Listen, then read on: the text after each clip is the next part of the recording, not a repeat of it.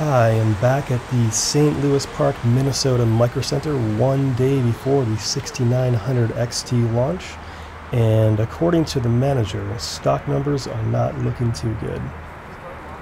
All right, I see you got a pizza here. so how long have you been in line for? Oh man, Sunday since Sunday. Sunday. Yeah. Wow. Sunday You- at 11:55 a.m. I didn't Okay. get here till like two.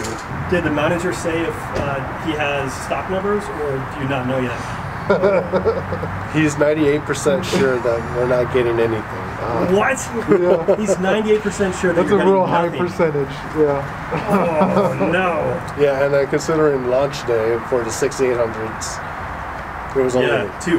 yeah, right? it was only two. Wow. And Well, these numbers are supposed to be a lot less than that. I wouldn't be surprised though if Nvidia decided to ship a bunch of cards tomorrow, uh, just to stick it to AMD. Yeah. So if you if, if they end up having a 3080, are you going to pick it up or a 3090? Um. but I'd probably stick with a 30. Well, I don't know. Man, I'd probably go 3080. Okay. Yeah, I couldn't shell out the 1500 for that 3090. Yeah. That gets much more, I guess. And if they were the same price, the 3090 and the 6900 XT, which would you choose? same price?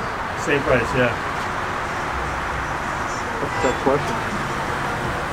Yeah. I guess for future proofing, the 3090 is a better buy because NVIDIA is eventually going to unlock their little SAM memory chip thing Yep. that Yep. AMD's doing. So yeah. there won't be a benefit for AMD anymore. Mm-hmm. I'd probably just stick AMD. And stick with AMD? Yeah. Always. Just, Loyalist. just have a full build. Like a Yeah. I've, I've heard that once it's overclocked, 6900 XT will beat out the 3090 in rasterization.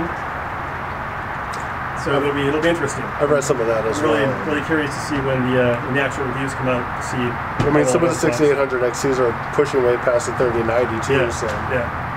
And do you guys know how cold it's going to be tonight? like 25, I think. 25. How are you going to stay warm? oh, I got 10. There's a tent, space there's heater. You just haven't set it up yet. Oh, well, they told us to take it down. So. We had to set Micro up. The home center told you to take it down. Yeah, Yeah. GM said that it was blocking the, the sidewalk, so What? we had to take it down. Yeah. Wow. But we could set it up again when um, When the they store close. closes. Which I is, see. I'll probably put it up before then because it's too cold. Well, well, thank you guys for chatting with me. Yeah.